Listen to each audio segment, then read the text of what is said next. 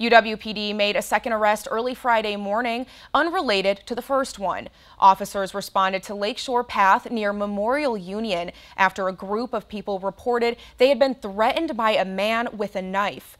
The suspect was identified as 29-year-old Rudy Garcia, who followed the group with the knife pointed at them. Garcia faces several tentative charges, including disorderly conduct with a dangerous weapon.